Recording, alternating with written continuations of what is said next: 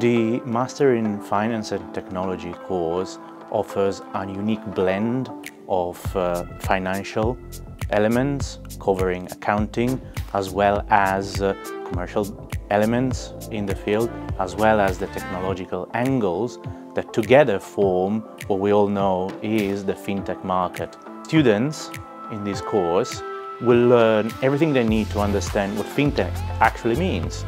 So what is it made up of? Well, they'll see what blockchain and crypto is, what data, big data and artificial intelligence is, but moreover, they'll also be able to understand how these technologies are reshaping financial markets and capital markets for the world to come.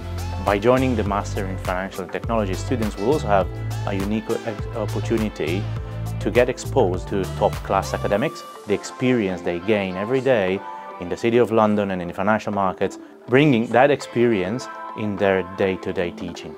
Today's world is dominated by technology. It has upended every aspect of our lives. Finance is just another aspect.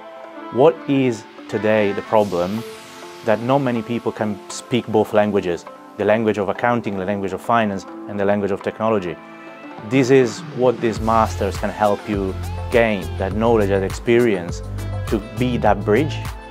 Building bridges is what creates opportunities and hopefully these masters will give you all the knowledge you need to be able to build those bridges and bring forward both field, technology and finance.